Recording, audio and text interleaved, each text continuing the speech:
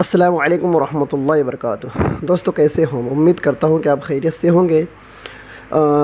اصل میں میں آپ حضرات کے سامنے اپنی ایک ویڈیو اور ایک پوسٹ سے رجوع کرنے کے لیے آیا ہوں۔ میں نے دو ہفتے قبل ایک ویڈیو اپلوڈ کیا تھا، اس میں ایک حدیث کوٹ کی تھی، اس میں ایک دعا تھی، اس دعا کو جمعہ کی نماز کے بعد اپنی جگہ سے اٹھنے سے پہلے سو مرتبہ پڑھنا تھا۔ اور اس کا بینیفٹ یہ تھا کہ اگر آپ سو مرتبہ اس دعا کو پڑھ لوں گے تو اللہ تعالیٰ آپ کے ایک لاکھ گنا اور آپ کے والدین کے چوبیس ہزار گناہوں کو معاف فرما دیں گے۔ دوستو، میں اس اپنی حدیث سے اور پوسٹ سے اور ویڈیو سے رجوع کرنا چاہتا ہوں۔ اصل میں یہ حدیث مجھے احناف میڈیا سروسز کے پلیٹ فارم پر ملی تھی۔ مولانا الیاس غمان صاحب نے یہ ایک پوسٹ بنائی تھی۔ اس پوسٹ کے اندر ان کے انسٹاگرام کے اوپر یہ پوسٹ تھی۔ اس میں یہ حدیث نقل تھی۔ سرکار دو عالم صلی اللہ علیہ وسلم کا ارشاد ہے کہ جو شخص جمعہ کے دن، جمعہ کی نماز کے بعد اپنی جگہ سے اٹھنے سے پہلے اس دعا کو سو مرتبہ پڑھیں گا۔ تو اللہ تعالیٰ اس دعا کی برکت سے اس بندے کے ایک لاکھ گناہوں کو معاف فرما دیں گے اور ساتھ ہی اس کے والدین کے چوبیس ہزار گناہوں کو معاف فرمائیں گے۔ اس بندے کے ایک لاکھ گناہ، پڑھنے والے کے ایک لاکھ گناہ اور اس کے والدین کے چوبیس ہزار گناہ اللہ تعالیٰ معاف فرما دیتے ہیں۔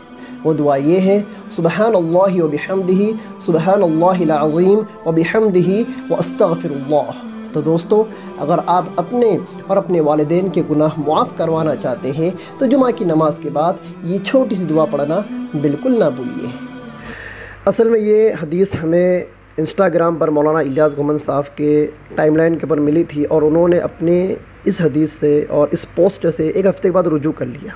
اب میرا بھی حق بنتا ہے کہ میں نے اس کو وہاں سے نقل کیا تھا۔ تو احناف میڈیا سروسز ٹیم نے اس سے رجوع کر لیا ہے تو میں بھی اس حدیث سے رجوع کر رہا ہوں۔ تو میں دیکھتا ہوں کہ بہت سارے حضرات جمعرات کے دن میرے اس ویڈیو کو اپنے اسٹیٹس کے اوپر لگاتے ہیں اور بہت سارے حضرات اس پر عمل بھی کرتے ہیں اور میں خود اس پر عمل کر رہا تھا۔ لیکن چونکہ مولانا الیاس گمن صاحب کی ٹیم نے اس سے رجوع کر لیا ہے تو میں بھی اپنے اس پوسٹ سے، اس ویڈیو سے رجوع کرتا ہوں۔ تو جو حضرات جمعرات کے دن میری اس ویڈیو کو گروپوں میں شیئر کرتے ہیں یا اپنے اپنے اسٹیٹس کے اوپر لگاتے ہیں، میں ان سے درخواست کرتا ہوں کہ وہ اپنے اسٹیٹس کے اوپر اسے نہ لگایا کریں۔ اس لیے کہ اس حدیث کے اندر کلام ہے اس کے راویوں کے اندر کلام ہے اور اس کے راوی ضعیف ہے اور سخت قسم کا کلام کیا گیا ہے، جیسا کہ آپ مولانا الیاس گمن کی اس پوسٹ سے سمجھ سکتے ہو جو آپ کی اسکرین پر نظر آ رہی ہے۔ تو مولانا الیاس گمن صاحب کی ٹیم نے اس سے رجوع کر لیا، میں بھی اس سے رجوع کر رہا ہوں۔ بہت سارے حضرات مجھ سے حوالہ مانگ رہے تھے کہ بھائی اس حدیث کا حوالہ کیا ہے، تو میں نے ان کو وہی مولانا الیاس گمن صاحب کی جو پوسٹ ہے وہ شیئر کیا تھا، وہ بتایا تھا۔ بہرحال اب جہاں سے میں نے اس کو نقل کیا تھا، وہاں سے ان لوگوں نے، مولانا الیاس گمن صاحب کی ٹیم نے رجوع کر لیا ہے، تو میں بھی اپنے اس ویڈیو سے رجوع کرتا ہوں۔ بہرحال، لیکن حدیث کے جو پہلے الفاظ ہے دعا کے جو سٹارٹ کے جو الفاظ ہے سبحان اللہ و بحمدہ سبحان اللہ العظیم، یہ بخاری شریف کی آخری حدیث ہے۔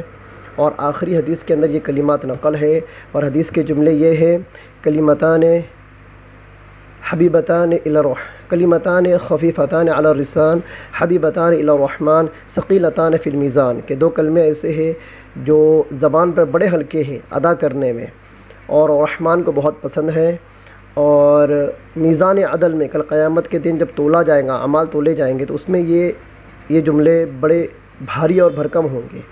تو اس میں تو کوئی اختلاف نہیں ہے، یہ تو صحیح حدیث ہے۔ کوئی بندہ بنا وقت کی تعین کے اگر اس کو پڑھے تو کوئی مذاق ہے نہیں۔ میں نے کہا بنا وقت کی تعین مطلب یہ کہ آپ کوئی وقت متعین نہ کرو، نماز کے بعد پڑھنا ہے یا سو مرتبہ پڑھنا ہے، فجر بعد پڑھنا ہے یا جمعہ بعد پڑھنا ہے یا مغربات پڑھنا ہے یا کسی شبے میں پڑھنا ہے یا کسی مخصوص تاریخ میں پڑھنا ہے، ان سب چیزوں کو آپ ڈیلیٹ کر دو، ختم کر دو۔ اور بنا کسی وقت کی تعین کے اگر آپ ان جملوں کو اگر پڑھے، سبحان اللہ بحمد سبحان اللہ العظیم، تو اس میں کوئی مذائقہ نہیں۔ بہرحال، وہ جو پوسٹ تھی اور وہ جو ویڈیو تھی، اس سے مولانا الیاس گمن صاحب نے بھی رجوع کر لیا ہے۔ میں بھی اس سے رجوع کرتا ہوں۔